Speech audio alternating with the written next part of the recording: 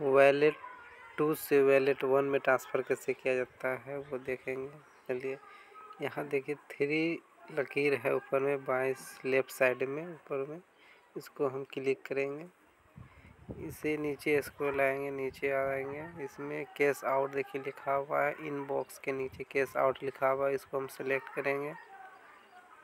इसमें देखिए, इसमें वैलिड टू और वैलिड वन लिखा हुआ है। तो वैलिड टू में हम सेलेक्ट करेंगे। और ऊपर में देखिए wallet two wallet wallet two wallet को सेलेक्ट करेंगे।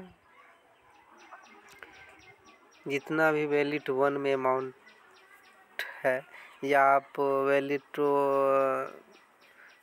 जितना भी वैलिड टू में अमाउंट है वैलिड वन में ले जाना चाहते हैं तो आप यहाँ अमाउंट डाल दें। जैसे हम मेरे वैलिड टू में अमाउंट इक्यावन रुपया है तो हम पचास रुपया डाल देंगे और इसे सबमिट कर देंगे तो वो वैलिड वन में चले जाएगा। ठीक है?